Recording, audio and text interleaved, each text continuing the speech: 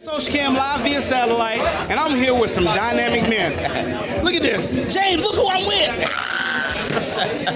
hi to the social media. Say hi. How you doing, Tell them social who you media? are. This is Pastor Craig from Norristown, enjoying the Day Spring uh, family cookout. It's a great time of fellowship, friendship, just people just loving up on one another, coming together, just to love the Lord and love one another. Having a good time. Boy, I, I'm just honored just to be in this presence. But I got one for y'all. This brother is, ooh. Y'all got me up here testifying today. Woo, this brother, he straightened me up sometime. This is Joe Massagill. Hold him, Joe. You got to get in the light. There we go. They say whatever's in the dark comes to Hey, light. listen to me. This is a real man of God I got next to me. Don't tell them that, Joe. They think I'm unsaved Brother sometimes. Lyles, I love this brother.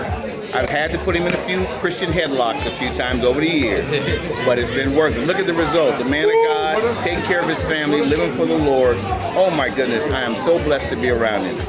Keep up the good work. Mm. Well, we here live, so Shakam. I'm gonna get ready to get out here. I got some more people to get. This is honor Reverend James Lyles. I love you, boy.